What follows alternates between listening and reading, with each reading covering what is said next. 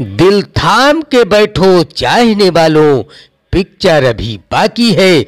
भोजपुरी की ये पहली फ़िल्म होने वाली है संघर्ष टू, जिसके डायलॉग बड़े लेवल पर वायरल होने वाले हैं। इस फ़िल्म से भोजपुरी इंडस्ट्री बदलने वाली है और इसको बदलने वाले हैं खेसारी लाल यादव जी? बताएँगे पूरी खबर। इससे पहले आप हमारे चैनल को सब्सक्राइब व वीडियो को लाइक, शेयर कर दीजिएगा। बवाल ट्रेलर है इस फ़िल्म का। यार, किसी ने भी ऐसा नहीं सोचा था कि इतना खतरनाक इसका टीजर होगा। दोस्तों, यकीन नहीं हो रहा होगा ना?